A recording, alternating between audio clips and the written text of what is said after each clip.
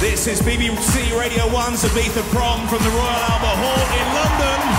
We are live on Radio 1, Radio 3, the Red Button and the Radio 1 website performing some classic Ibiza tunes with the Heritage Orchestra conducted by Jules Buckley. Make some noise!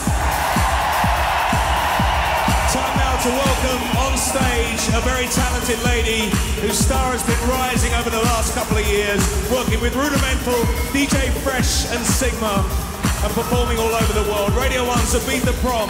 Please welcome onto the stage Ella Eyre.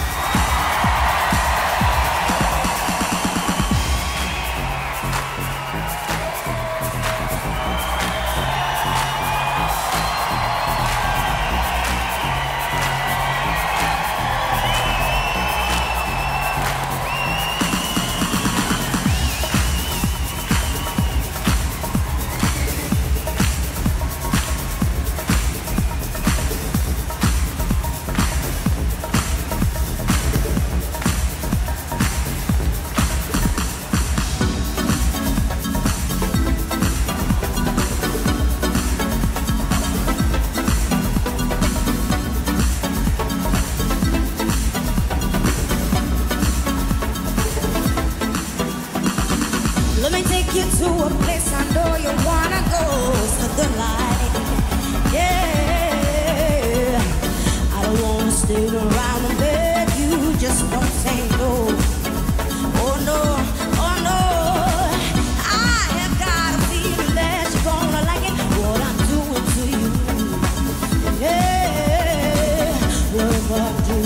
I'm doing how we doing, what